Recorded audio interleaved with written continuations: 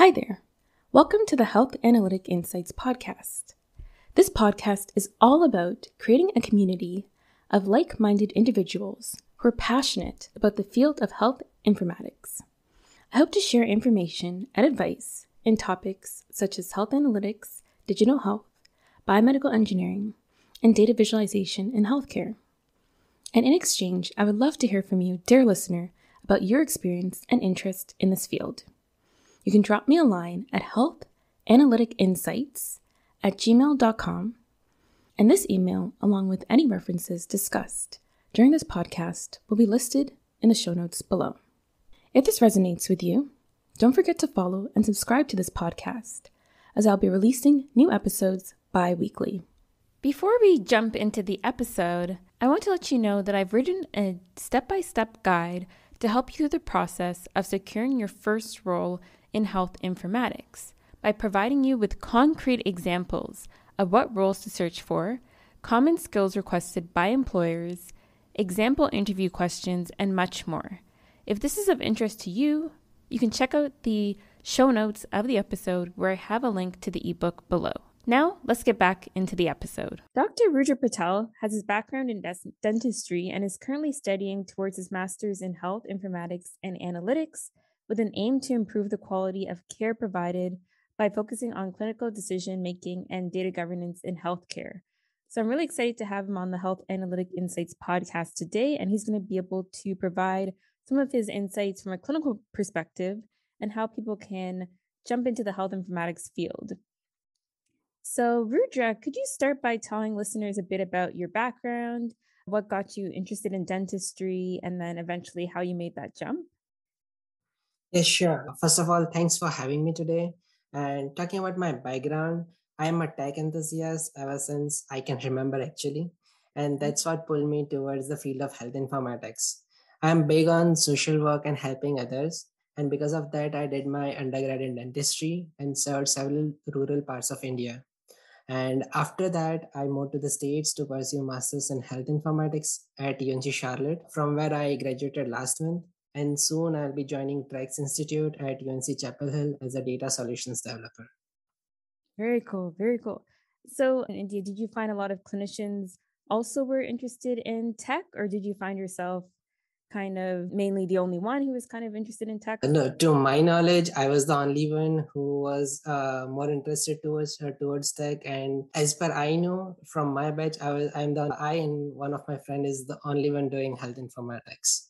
Mm-hmm. Yeah. So why do you think that is? Do you think that maybe it's not really taught that much in school, or do you think it's just like personal preference? Yes. So this field is quite unheard of in India but uh, i came to this field uh, during my residence in india and that's when i did a lot of research and i came to know that uh, through health informatics means i was really impressed uh, by the solutions that can be inferred from the data generated from the hospitals and different sources and mm-hmm. how health informatics professionals use it to improve the health outcomes and improve the access to care to vulnerable populations that's what interested me and i think many people in india are not aware of this so this is quite unheard of yeah i think it's quite new across um, many different countries to yeah. be able to actually apply you know technology in healthcare and i think healthcare is one of those fields that kind of lags a bit behind when it comes to tech and of course the main thing is to consider patient safety right so you can't do things as rapidly or as quick as other industries yeah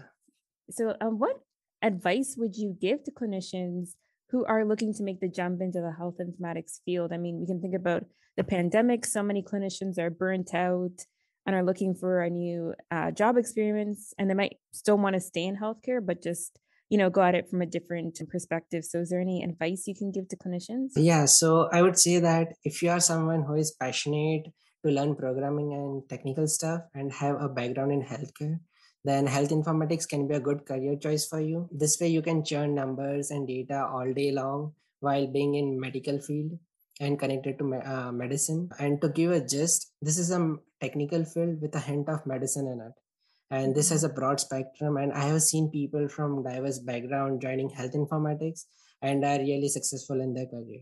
So this is a good field to dive into. Yeah, absolutely. I think as you're saying, like it, it's it's it's still a hint of healthcare. So you still have that experience that you're still helping the patient. You might not be face to face, but you still have some impact. Yes. So I think that it, it's it's a good opportunity for clinicians. And how have you lo- used your own clinical experience to kind of leverage your role in informatics and kind of use your clinical background to figure out where you would eventually specialize a bit more into health informatics specifically? So, in general, health informatics means I would say that uh, I did not use uh, much of my practical experience but rather I can say that someone who is willing to join health informatics can leverage their theoretical knowledge about medical field and medical terminologies. The in-depth knowledge of various diseases and treatment plans can be really beneficial. To give you an example, I was recently working on a psoriasis research project using an EHR data. And in brief, psoriasis is a skin disease. And since I was already familiar with its triggers, symptoms, treatment plan from my previous experience, it became quite easy for me to do the analysis and present the results to my stakeholders in an effective manner. So what I'm trying to say here is the past experience and knowledge about medical field is greatly helping me in this field, in the field of informatics, to be a notch ahead. Yeah, that makes a lot of sense, and I, and I like what you said about how like the, having your prior experience also helped you to communicate this to stakeholders because I think that's another huge part about health informatics that's not really talked about. You'll have to do a lot of presenting and explaining, yeah. you know, technical concepts to a non-technical audience who's most likely clinical. So being yeah. able to ha- be, you know, have that experience in both fields is is really really helpful when you're trying to translate that information.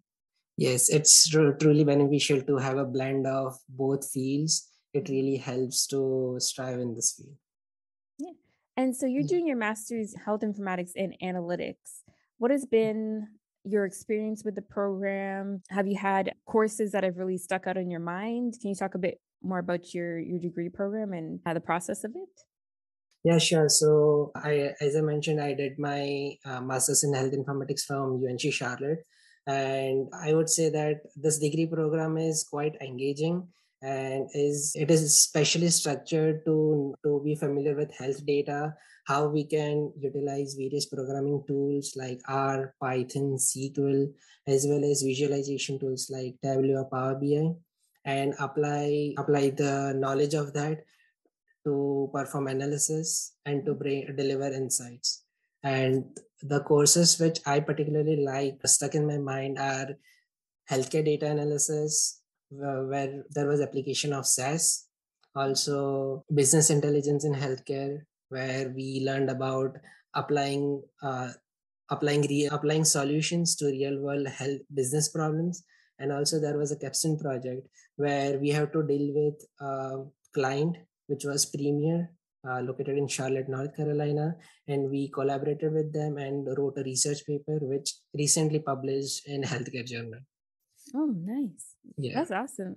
And you know, sometimes when you go to school, like you're not really you don't really get exposed to the most up-to-date programs, but in your class you're doing SQL, you're doing Python, SAS, these are all tools that are, you know, yeah. used right in health informatics. So that's really awesome that you had that experience.